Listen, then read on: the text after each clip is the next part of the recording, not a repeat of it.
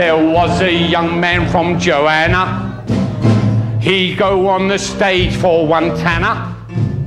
His favourite trick was to stand on his prick and undo his balls with a spanner.